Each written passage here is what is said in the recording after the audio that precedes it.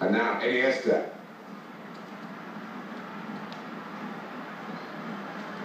And in charge, Sung Kwan Cho. It's looking good, this move. And it's Xavi. Little too eager to get in behind the opposition, caught offside. Zlatan Ibrahimovic. It's Barcelona who certainly will be trying their utmost to get the win in this game. But they won't be taking anything for granted as far as that's concerned.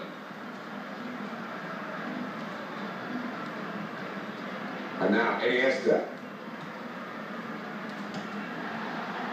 This is his situation, isn't it? Looking for a goal. Javier Pastore.